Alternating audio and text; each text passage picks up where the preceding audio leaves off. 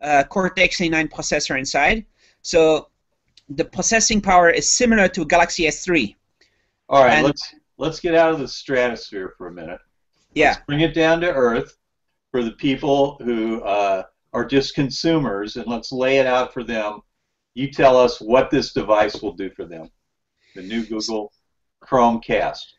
So I mean, for for uh, fifty percent of the users is going to be no, no, for more than that. Let's say ninety percent of the people who are going to buy this is just going to make it the easiest way to get your videos on a TV. And this is not uh, this is not watching TV. This is watching internet video. So this is about video on demand.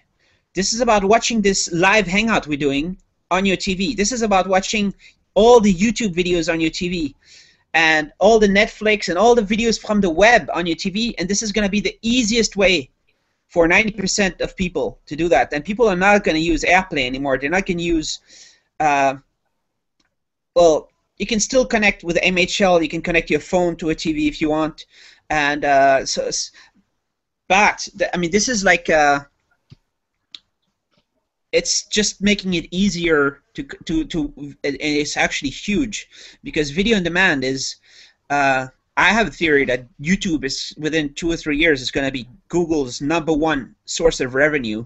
All right, just before we get too far along here, I'm just going to interrupt you again. You threw out a couple of geek terms there that some I know what they mean, the MHL and the AirPlay, but there's a lot of people here who may not even know have a clue as to what those are. So you, if you could uh, let people know what you are talking about and put those terms into perspective, if you wouldn't mind. So MHL is uh, like an HDMI output from your phone, but it's coming from a micro USB, and uh, it's full bitrate. So you're getting gigantic amount of data from your phone to the TV. So you get full HD video, uh, no lag, and you can even play very high frame rate video games on your TV. AirPlay is using the Wi-Fi in your home to stream to compress the data from your phone or from your tablet to the to the TV. It has to be Apple devices only, but you can actually do AirPlay from Android too. But uh, or you can even use Android too. But that's just like not really official. And then there's a Miracast, which is what Android is mostly using, and which is included on all Android 4.2 devices and above and that's uh, also using Wi-Fi to do basically there's some kind of smart thing going on in your phone or in your tablet that compresses what's on the screen and sends it over Wi-Fi. But Wi-Fi is not very, you know, it's very slow kind of uh, bandwidth. All right, let's let. I'm going to stop you right there. You say Wi-Fi is slow. Now this does this device only use Wi-Fi? It won't use Ethernet. Is that correct? Yeah, yeah. I mean the the the Chrome Cast is using Wi-Fi.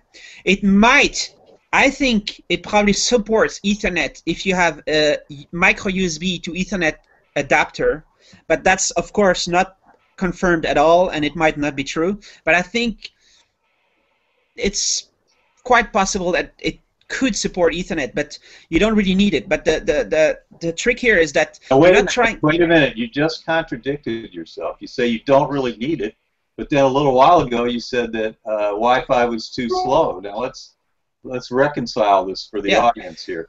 So it's too slow if you want to like walk around with your phone at home and try to stream from your phone, which is a battery-powered device, to uh, let's say uh, something like a, a Chromecast uh, device directly without going through um, a hotspot at home you know, a battery-powered device's Wi-Fi not, is not as powerful as, let's say, huge laptops' Wi-Fi or like a router at home, uh, or like um, uh, this Chromecast, which is powered by MHL, for example. I think. All right, I got to stop you there because some people think that you're uh, getting ready to call Roto-Rooter, and I don't know what that means. And, and it's router in, in router.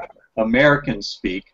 In, you know, us Americans, we call it the router and, and, and you English people call it the router. So just so we know what you're talking about. So so now to simplify it, now correct me if I'm wrong. What you're doing is you're sitting there with your uh, I've got a like I've got this Samsung here, this uh, yeah. this Samsung phone, and I can take and pull up the uh, YouTube interface, which is easy to do, and and then it's going to show a little symbol in there that that uh, if I touch that, it's going to connect it to my TV, but it's not going to go from this Samsung to the TV. It's going to go from the Samsung up to the cloud, up there in the cloud, and then from the cloud it's going to come down. Of course, the cloud isn't really up there; it's out there in a data center somewhere.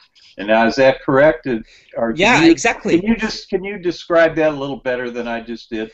So, if you would do that with an iPhone on AirPlay, you might get 360p resolution to your AirPlay device because it has to stream from your iPhone directly to the AirPlay receiver uh, over Wi-Fi at home. Well, if you trigger the stream to the Chromecast, it's gonna stream the 1080p directly from YouTube server. And it's it's like uh, it's like the difference between HD TV and the old non-HD TV. It's uh it's much better to do it directly from the cloud to uh, like a device like the Chromecast. So that's why it's it's really great. I mean, it's it's really gonna be for many people. It's gonna be like a uh, not just easier, but also impressively high quality and it's going to be i think is this is good enough for a majority of the public to start using internet video instead of normal tv and this is why this is quite quite important because now, nick, they, nick they got an open api on this thing too right? That means like you and me we could start a little company and we could we could develop an app that ran on this. It would make us a million bucks right? Yeah, I think I think those those API and SDK that they announced actually uh, are going to enable people to kind of let's say you have a game and you want people to play that game on a TV, and you might be able to use that SDK somehow to run that game on the Chrome stick, on the Chrome. Sorry, I said Chrome stick. That's how I called it in the last like six or, or twelve months. But it's a Chromecast device, so because it could run the game on the Chrome on that Chromecast so you don't have to run it from your from your portable device or you could also stream that from your portable device directly i don't know if there's wi-fi direct support or if, has, if it has to go through your router at home or if it had, has to come from the cloud. I mean there, there might be a whole bunch of cloud games now that's basically going to you just launch them from your phone and it's going to stream the game from the cloud to your tv now will and, we be able to stream hangouts to our tv using this technology? I, I, I would like to hope so. I mean, you, you, it, I maybe what Google is doing is just launching the first device out of many, and there might be one with a, like a built-in HD webcam uh, that you just put in your TV, so you can have HD Hangouts uh, easily from your TV. Or this one hopefully could support a USB webcam because it has a little micro USB port. Right. I, I can see that on the picture and and that's possibly a USB host. I mean, all the HDMI sticks that are on the market have USB host. So I'm pretty sure this is an HDMI stick, and I'm pretty sure it has a USB host. But maybe Google is blocking it for some reason. I don't know, but I don't think they are. And there's a possibility they they sell like for uh, let's say thirty-nine dollars or no, they not they don't call nine. I really like the price is thirty-five dollars. That's like the first time people are like reasonable with pricing, but uh, they no, could sell enough. I just bought four of them right before they shut down sales. That's cool. Yeah, when are you getting them? I don't know, but I got in before they shut it down, so I didn't awesome. get the message that said it's out of stock. I got my order went through because I did it immediately as soon as they announced it or as uh, soon so as in, they opened the site, anyway. I'm in London, so what you should do is uh, add a category in your website where you can resell them. I'm joking. Maybe not. You don't need. No, them. we're just we wouldn't do anything like that, would we? Now. yeah, you can sell them for thirty-seven dollars and make a profit. Right. Yeah. No, I don't, so, I, so the HDMI stick is really fascinating. Have you seen the HDMI sticks before? Uh, I've seen them, but you might have some examples there. And, so I have, uh, and so, I have like 20 HDMI sticks. You have 20 of those. Yeah, but I don't have them. I don't think I have them right here because okay. I'm in London right now, and all my stuff is not in this country. Well, what's uh, the best? Uh, what's the best competing product that's out there right now to compete with the? Uh, I can't imagine anything competing with this, but if you had to name something, what would it be? So just to talk, uh, I'm sorry if I talk too much, but just to talk a little bit, like uh, in beginning of 2012, like around March 2012, uh, the introduction of the A10 base, that was an Allwinner, which is a Chinese ARM processor based on a Cortex A8 was released, and that's the A10 based HDMI sticks, and those were leading the market for most of 2012. Uh, and then since uh, the towards the end of 2012, there was a dual core Rockchip, which is a 3066 processor, which is also an ARM processor from China. Uh, that was uh, leading most of the sales and still leading most of the sales of HDMI sticks. Actually, these HDMI sticks have been selling tens of millions of units uh, out of China uh, since they got released. So it's already big. You know, uh, before there was only tablets that people would talk about. And the if I, I go to I go to Shenzhen like nearly every month, like which is uh, where they manufacture everything, and uh, they sell many of these. And now the leader, I think, is uh, the quad core Rockchip platform. So now it's uh, quad core Cortex A9, and the thing is, out of China, you don't really have brands so much. It's a whole bunch of anonymous small factories, and, and then they get brands once you sell them in the USA or right. you sell them in right. uh, in Europe. Then they at the end maybe they put some brands, but maybe they don't even put brands on them. You so, think there'll there'll be a market for clones of these? You think they'll clone these and sell clones like they sold uh, clones of the PC when the PC first came out? Just to go way back in history. So those, let's say, I would estimate 50 million HDMI sticks have been sold so far.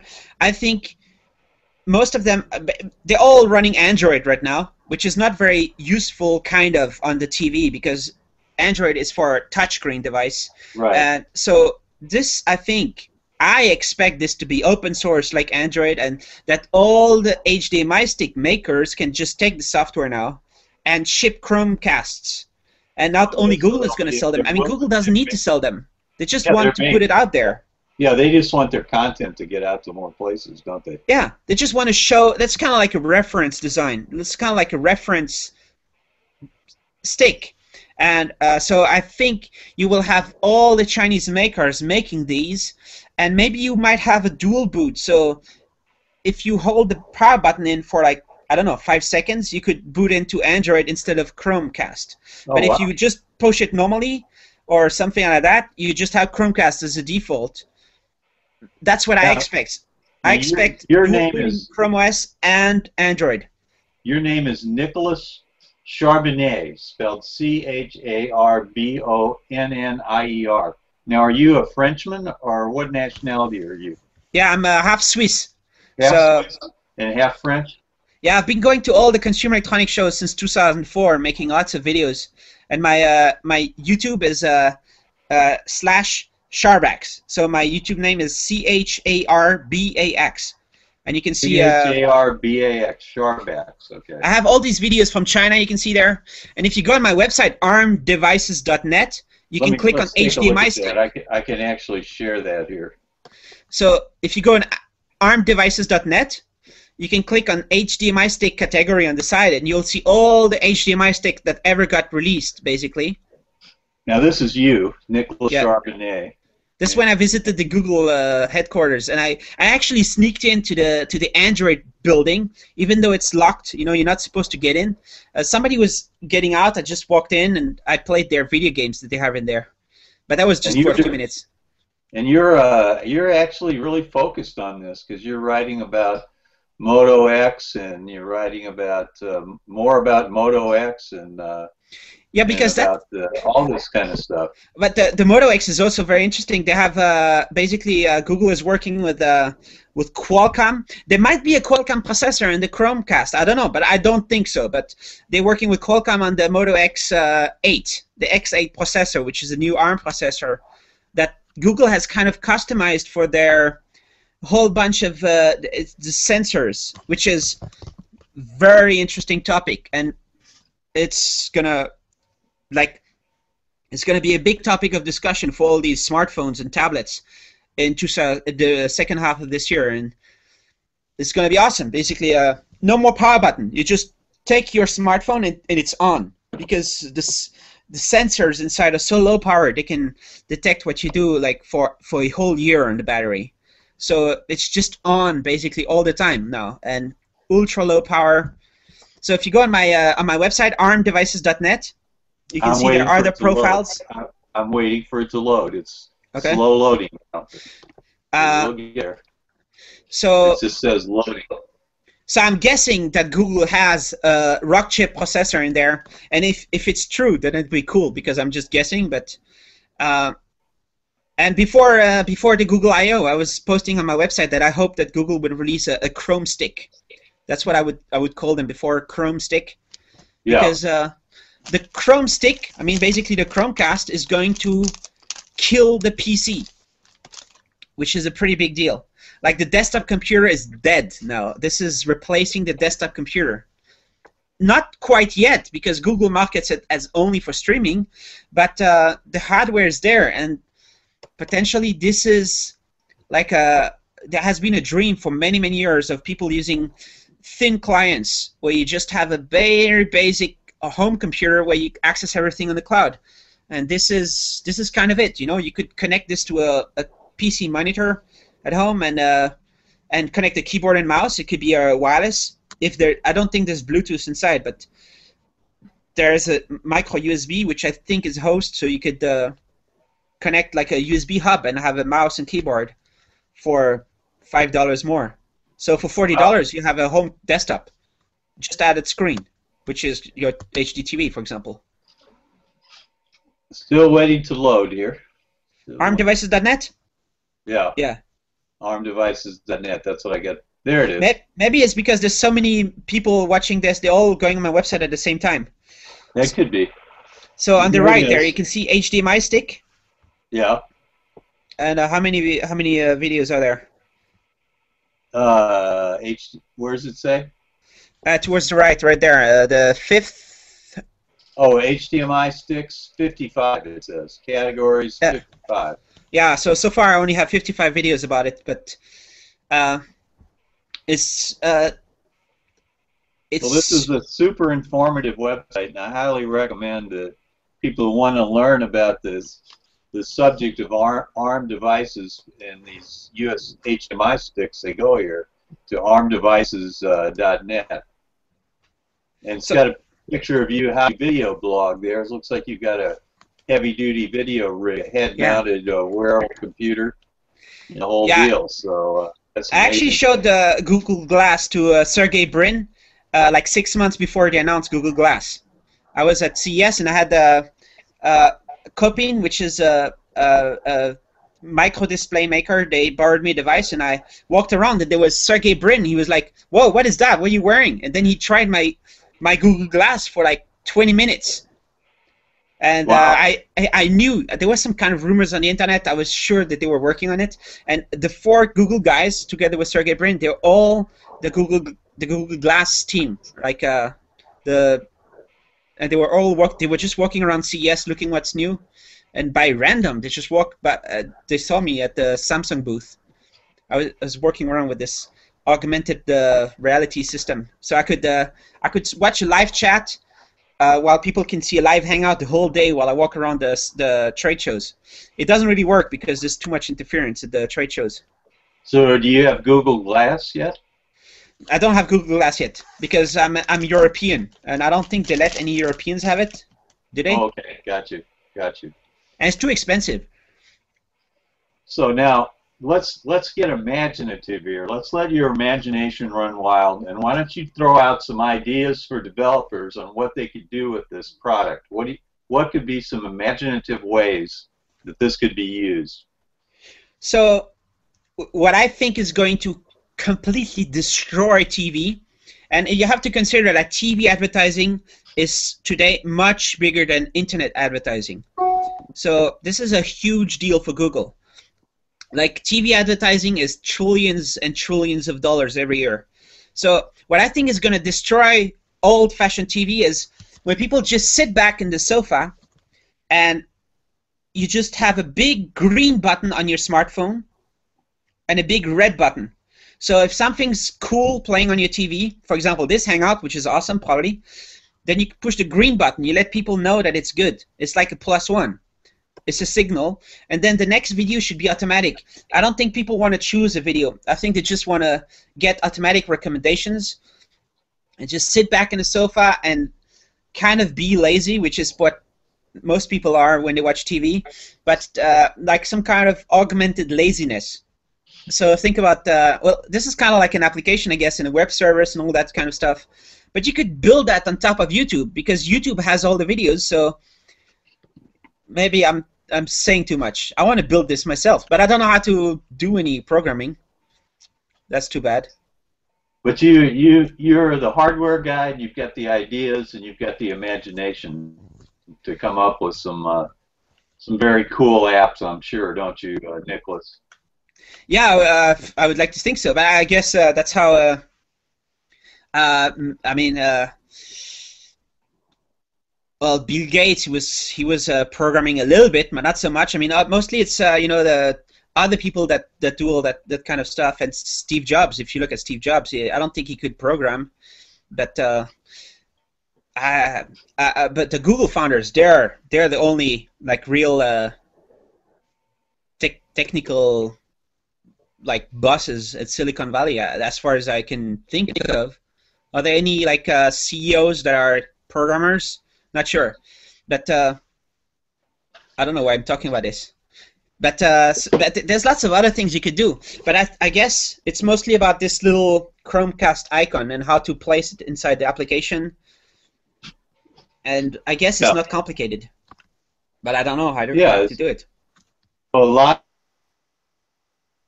little, little Chromecast feature so that uh, uh, say when you're using the app you could mirror the the app on your big TV. Would you think there'll be a lot of apps mirrored on the TV?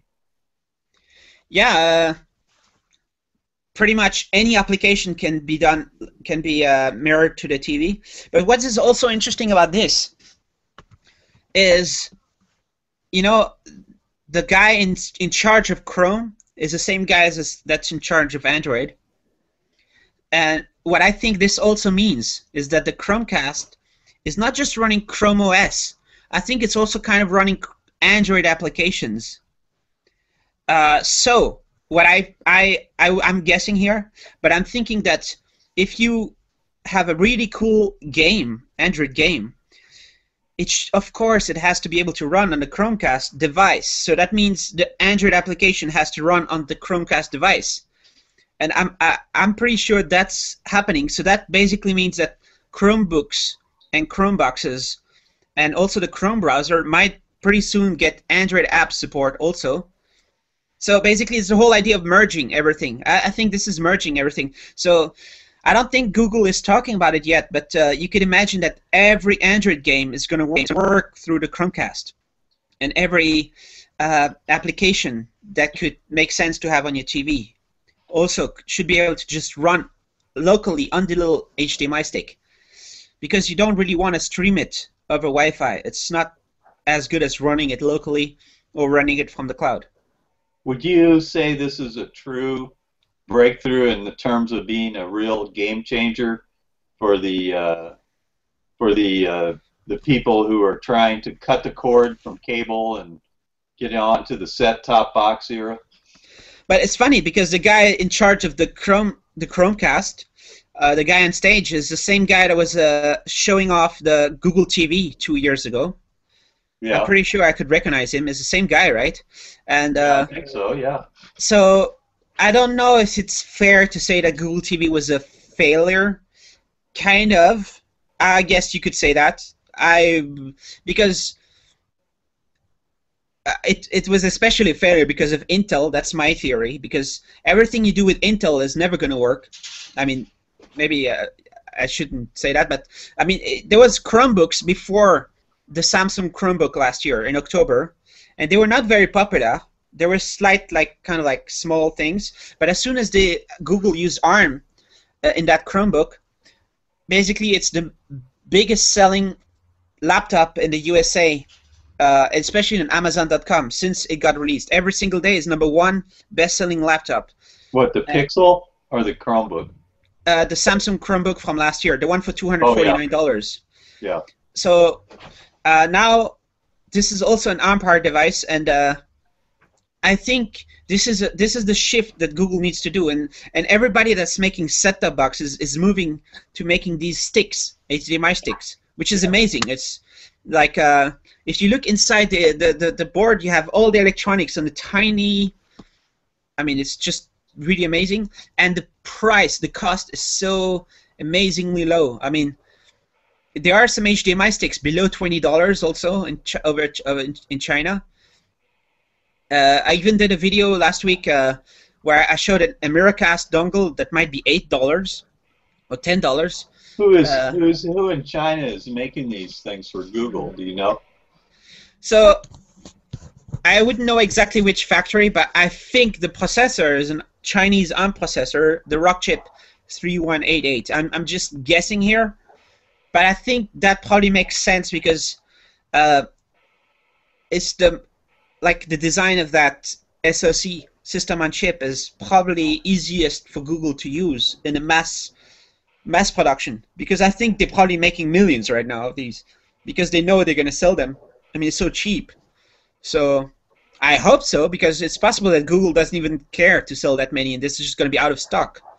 Uh, it, Google has done that before. You know, like uh, the Nexus 4, it's it was out of stock all the time and it's because LG didn't like selling it so cheap. Two hundred ninety nine dollars. It's too right. cheap, and go, and LG was not making enough profit, so it was always out of stock. And well, that, the, uh, that new uh, Nexus uh, Seven that they released today is a pretty sweet uh, price point for two sixty nine for a Wi-Fi version, and it's got a full high def uh, screen and everything. That's pretty awesome. That's pretty pretty big breakthrough it's, it's of course it's absolutely amazing. It's awesome. That screen is probably a, a fantastic. I look forward to seeing it. But uh, even the Nexus 7 last year, Asus, I think, I'm pretty sure was being careful at making sure that the cheaper model is always out of stock, and they only have the more expensive one right. with more memory because they make like 20 or 30 dollar extra profit on the more expensive one they might even make more than thirty dollar extra profit because well, the, uh, the one for two sixty nine that's right in the middle. The first yeah. the first thing is less memory, then more memory and Wi-Fi, and then they jump to LTE. I think it's like three fifty yeah. or something like that. Yeah, but because Asus uh, has been kind of struggling with tablets before, and they got like Google convinced them to like basically go mass market and lower price and uh, seven inch is my favorite uh, tablet size. I've been using seven inch tablets since 2006. Right. Because uh, uh, maybe not in some countries like uh, in the USA where it's too hot, but uh, in Europe and in northern part of the USA, I guess, you wear a jacket like half of the year, I guess, when you go outside because it's not too warm and so it's perfect to have seven inch tablet because you can take it in a jacket and it's you just have it you don't need a bag you just take it everywhere with you yeah, I might be able to get it in my uh, photographer's vest here. It'd be a stretch, but I might. No, I'd have to have a bigger pocket than that. I'd have to get a different photo vest. Yeah, but, that's why uh, I think seven you, inch let perfect. Me stop you, let me stop you here for a second and ask you uh, when you're not uh, writing about uh, these uh, ARM chips and all that. What do you do for a day job? What's your regular job, or do you have a job? Are you independently wealthy? I'm I'm just trying to like uh, somebody's joining. No. Yeah, I'm, I'm just trying to what's it called? Uh, uh, since 2004, just uh, have Google advertising on my YouTube videos. Oh, you want you want to you can answer the call if you want. No, that's okay. We want to continue with the show. Uh, so I, am I'm, not wealthy, but I'm able to travel to these conferences, which is pretty awesome. But uh, uh, I mean, there's some American bloggers, like uh, you know, if you go on The Verge and Engadget and all these sites, they make millions of dollars. So you know, it's possible to make to blog and make enough money to live on, kind of live on, you know. But right. Uh, so I, I mean, that's basically what I'm doing. I have these YouTube ads and uh, and a little bit more ads, a little bit around my website, and sometimes some some uh, conference organizer or some some companies invite me to different conferences. Then I don't have to pay for the airplane. That's basically it. So your your day job is you work for yourself then, Yeah. and, and is that profitable enough for you? Well, I'm not totally bankrupt, but I'm always near bankruptcy. But I mean, that's that's how it is. I guess. Uh, yeah, it, I guess uh, Google could. Uh, with this Chromecast, maybe I can make more money soon because uh, Google really needs to ramp up advertising revenue and monetization on YouTube because they're already doing a good job, but they can do so much more. Imagine if I do a video about a device and people can just click from their phone, whether they watch it on the TV, to buy it. You know, one click. Like the, I make a video about, uh, let's say, an HDMI stick, or no, let's say a tablet or something that's available on Amazon or something. Google should automatically know it's available, and while you watch this video, uh, it pops up on your phone and says, "Do you want to buy it?" And people should say yes. And when they say yes, I should get four percent commission. And if Google did that, I would automatically get maybe 10 times more money for my, my, my job, which is to post videos on the internet. And so that's just a, to, to show an example of how much already YouTube is huge. And it's just uh, YouTube alone is the biggest website in the world, like in bandwidth, by far. It's like uh, there were some articles recently that Google is 25% of the bandwidth on the internet, but I think it's possible that Google is even more than that. And uh, most of I'm that gonna- is YouTube, it's not Google. This call, but I'm going to let you keep talking. Okay. Don't. Okay, please take it. Just keep talk to the, the audience, and you can take this wherever you want while I take this call. Okay. Yeah, th- and that's that's what's amazing about Google is that all this bandwidth. I, it's possible that nobody's watching this, but hopefully somebody's going to watch it and uh, are watching it right now. But what's amazing is that Google is providing all this bandwidth for free, and you have to think of all the storage, all the hard drives, and all the cables, and all the power and the servers that are running 24 hours, and not just in one place, because you need to have servers all around the world for this to work. So it's quite amazing, but I guess it's just mathematics, and Google is able to, and Google is the only one who's able to do this. So when you try to think about alternatives to YouTube, there's like Vimeo, but Vimeo is maybe 0.001% of YouTube in terms of bandwidth. And uh, is the French uh, Dailymotion, but it might be 0.3% or 0.1% of, of YouTube bandwidth. Netflix is pretty big, but that's also it's just clever clever American business people like buying bandwidth and selling it to a whole bunch of subscribers, which is pretty impressive. But I mean, there's nobody like YouTube able. You can just upload tens of gigabytes of videos to YouTube, and it's free, and it's just completely insanely amazing. Like uh, all this storage, all this bandwidth for free. So, of course, it's it's wonderful that Google is doing it, but uh, they need to they need to get to the next level. I would like to I would like to give them money. I would like to give content makers money. Why is it not possible to click on your YouTube account and give you money? It should be included. Like uh, Google should make it possible to people for people to support content creators. Like uh, it should be a default feature right there. Yeah, absolutely. I agree with you. I'm a content producer myself, and uh, there has to be a way to make it worthwhile. Then there'll be greater and greater content, won't there? Yeah, I'm a fan of this this guy, uh, uh, uh, Joe Hanson. His name is, and uh, he has a YouTube channel. Uh, the YouTube channel is called. Uh, I, f- I forgot what it's called, but uh, he's really funny, and he did a, a this like kind of like a Kickstarter. The the competitor, I forgot the name, Indiegogo.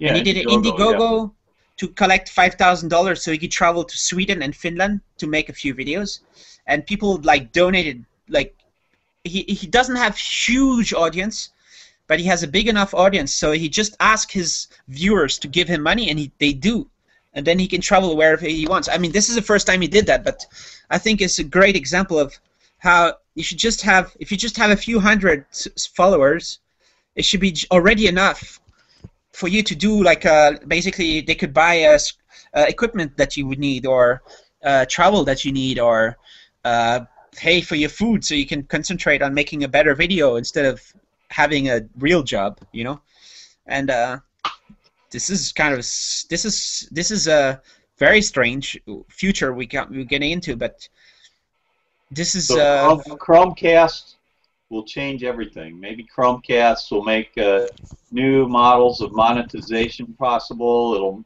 it'll be a whole new uh, arena for the app, app developers with the API for the uh, iOS and the API for Android.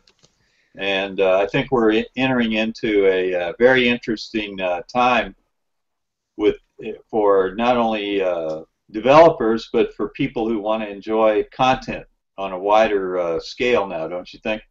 yeah, absolutely. And uh, imagine watching YouTube video streaming and Netflix without advertising on your TV at all, but you could have advertising on your phone Right, or on your tablet. Right. Yes, there is space right here, and you don't care if there's relevant advertising. And basically, I think this is where Google is going to pop up some ads on your phone while you watch the videos. And and what's good about that is that you can just click on the ad. You can buy. You can you can uh, you might if you if you click on uh, if it's a video ad you might click it if you agree it's going to interrupt your video for a second and sh- show you uh, like the advertiser's video or something like that and you can then resume back to your video. Uh, it's just going to be it's, it's also going to be very interesting to see how families and friends and stuff can kind of like collaborate on choosing what to watch. Uh, I had a very interesting ex- experience with my father uh, a couple months ago where we watched videos for 12 hours the whole night, uh, just streaming from YouTube. Like we watched jazz video and uh, uh, Woody Allen interviews and a whole bunch of, and he was really int- he thought it was cool and and uh, but it, the trick is because all videos are already on YouTube kind of and there is good stuff for everybody on YouTube already. The trick is how to get it there without having to search too much or you know you, we need like the recommendations engines I think are going to be kind of a trick and I hope I really hope that Google has them like uh, just just about to be ready. They already probably have some, but to have some perfect recommendations engines for this for the Chromecast. Great, This is a trick. great. And getting the right audience to this video because uh, you know it's not. I don't like the idea that people have to subscribe to you before you get an audience. If a video is good enough, you should get the audience automatically. And Google needs to figure out how to do that. And that's a also on Google Plus. It, it shouldn't matter how many people circle you. It should just be about how good your content is. And Google can figure that out, not just analyzing your content, but analyzing the the the ratings, like the plus ones people do. As soon as Google really start to use the plus ones for something, then Google Plus is gonna happen. Right now, it's a little random what's going on here, uh, and uh, it's it's really by random. I saw your Hangout, also, for example, you know, and uh, yeah, random is cool, but uh, it would be nice if it was. You just knew that when you sat down by your Chromecast, that you are know that you're gonna be entertained every single time, and if you are in the mood for music, you can kind of switch over to music mode. And if you want news, you can switch over to news mode. If you want technology videos, you can switch over to that. And you can have different. If you want comedy, you switch over to that. And you might watch the comedians you like, and you might, if you want to watch some you don't like, then you just say, Google, show me stuff that I don't know, you know? And they will be able to show you stuff that you don't know. Well, that's speaking of uh, random events, we've got uh, Brad Chasenor here from uh, the Tech Webcast at, at techwebcast.info. And Brad uh, is uh, quite the TiVo maven and uh, expert on a lot of media things. And uh, Brad, I'll just ask you if you if you have any questions for Nicolas today, or if you have any comments on this new uh, Chromecast that just came out. Well, well, I am getting one. Jennifer's getting one for me. I live over in Australia. I can't order one over here at the moment, but I am getting one from the US. Um, so yeah, I'm looking forward to. it. I love it. I reckon it's a great device and it's going to work great with my phone and stuff. And I hope it's going to work on the iPad too. Is that correct, Nicolas? Yeah, it works everywhere. It'll work everywhere. Good stuff. I can't wait to use it, mate. Especially Netflix. I use Netflix over here as well. I use a VPN, so that's a good way to AirPlay stuff from that to the uh, to the Chrome thing, to the, to the Chromecast. Yeah, I think it took everyone by surprise. It may not have taken you by surprise, Nicolas, but I think it took a lot of people by surprise today. I think you probably saw it coming, didn't you? I, I kind of hoped for it, but I had I, I was surprised too because I was just expecting a, a Chromebook. I thought maybe would you would get an upgrade for the Samsung Chromebook already, but uh, I guess that's coming also, but not yet. That's gonna be maybe a Samsung event or something else, you know. But uh, yeah, I, I was I was uh, anticipating the Chrome OS on a stick and Chrome OS on ARM. Have I've been talking about that for like three, two three years. I mean, as soon as they launched Chrome OS, I was uh, looking forward for Chrome on ARM because that's what really makes Chrome OS popular. Because as as long as it stays on Intel, it's too expensive. If if you had to make a Chromecast device on Intel, it would for first it would not be possible. You cannot make that small device with Intel inside, and it would be uh, 149 dollars. It would be bigger. It would be uh, you know nobody. Uh, it wouldn't like it wouldn't make sense at that price. People are gonna say, well, we want more than just streaming, you know. But with ARM, you can customize and you can say, let's limit it for something easy. This is what they're doing. Yeah, Yeah, it's, definitely. a, it's Definitely. a great new uh, time. And uh, hold on, So- you guys carry on. I'll be right back. Okay. So I seen Nicolas. How are you, mate? Now listen. Um, I would love to get you on my podcast, mate, to interview you. I've just, I've just checked out your blog, and um, I will love to interview you one day, mate. For Cool. free. Yeah, I'm I'm always free. That's the that's the thing. On the internet, Alright. there's always time to do stuff. All right. Well, I added you on Google Plus, so Jacob's going to send you some information. He's the producer of the podcast, so he'll send you some information, Cool. um, and you know the, the time and, and stuff. So, Jacob, is that okay with you? Hey, Jacob, what's up? Jacob Jacob is uh, may have audio issues, but anyway, let's wrap this up now. And I'm sure Brad would love to have you on his uh, tech Yeah, web definitely. wouldn't you, Brad? Oh, definitely, mate. I'd love to have him on. I've seen his blog. I just- mentioned him before. I'm going to get him on next week, maybe. cool. It's, it's an excellent podcast, but we're going to wrap it up now. And uh, I would like to do this again because I think that the uh, the the new website uh, ChromecastCast.com is going to do a series of podcasts about the uh, Chromecast uh, product, and we'll, we're going to delve into it more. And today is day one. So we don't know a whole lot. We're going to know a whole lot more in a few days, and Hey, maybe Paul, in a week or two we'll know a lot more than we know now. Go ahead, Hey, Paul. uh, Brad. So, two questions. Now, you've got a Samsung S4 phone now. Yeah, I do. So you've moved from that. You moved from the iPhone to that phone. Uh, no, I still have the iPhone. It's still activated. Uh, I have two phones now. I have the old iPhone and the and the new uh, Samsung Active. You know, which is Oh, sweet. waterproof. Yep, good And phone. hopefully, I'll be seeing uh, Chromecast on both these devices. Definitely. Now, did you order one? Did you order one, um, Paul? I ordered four of them. I got in there before they closed the uh, orders off today. Now, one. now it's closed off. Good one. Where did you order yours from? Amazon or from the Directly, I couldn't get it on Amazon. Amazon didn't even know about it yet, so I Oh. got it direct off the uh, Google uh, store there. Uh, yeah, Jennifer Regigro, she ordered two, and she's she's going to have it by the end of this month.